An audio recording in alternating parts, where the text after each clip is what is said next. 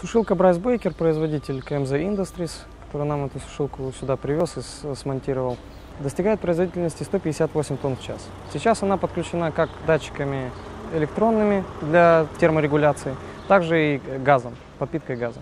То есть буквально через неделю, если приходит э, влажное зерно, это или рапс, или ячмень, или пшеница, мы готовы сушить.